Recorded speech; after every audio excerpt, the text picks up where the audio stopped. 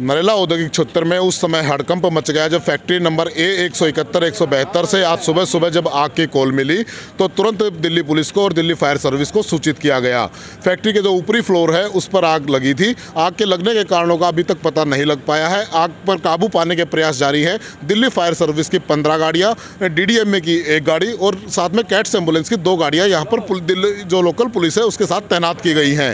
नरेला औद्योगिक क्षेत्र में फैक्ट्री नंबर ए एक सौ इकहत्तर, एक सौ बहत्तर में जब सुबह आग की कॉल हुई तो दिल्ली फायर सर्विस में भी अफरा तफरी एकदम बनी। दिल्ली फायर सर्विस के जो जागरूक कर्मचारी हैं उन्होंने तुरंत पहुंचकर आग पर काबू पाने के प्रयास शुरू किए।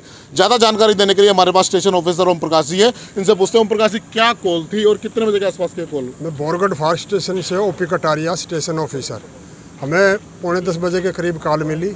हम तुरंत यहाँ पर गाड़ियाँ लेकर आए और हमने देखा कि दोनों फैक्ट्रियों में आग है तो हमने इसको मेक सिक्स किया गया, जिसमें कम से कम हमारे पास पंद्रह सोलह गाड़ियाँ काम कर रही हैं।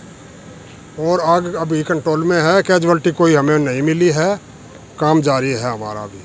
तो जो आग है किस तरह की आग है और कौन से फ्लोर पे आग है? आग एक सौ इकहत्तर में ये फुटवेयर का काम है और एक सौ बहत्तर में गत्ते का काम है।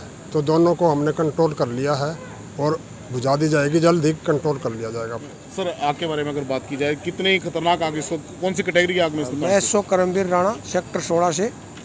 ये ऊपर जो प्लास्टिक दाना है ऊपरली फ्लोर पे है और ज़्यादातर हमने आग को कंट्रोल में कर लिया है और जल्दी ही आग को ख़त्म किया जाएगा। फायर सर्विस की तरफ़ से कैटेगरी दी जाती है आग को कि कौन सी कैटेगरी की आग इसको माना गया है? ये मेक सिक्स की कैटेगरी थी। जिसमें दस पंद्रह गाड़ियाँ आ जाती है काम करने के लिए। किसी तरह को कैजुअलिटी की सूचना अभी तक आ रही है? अभी हमारे पास कोई कैजुअलिटी कोई सूचना नहीं है। काम जारी है।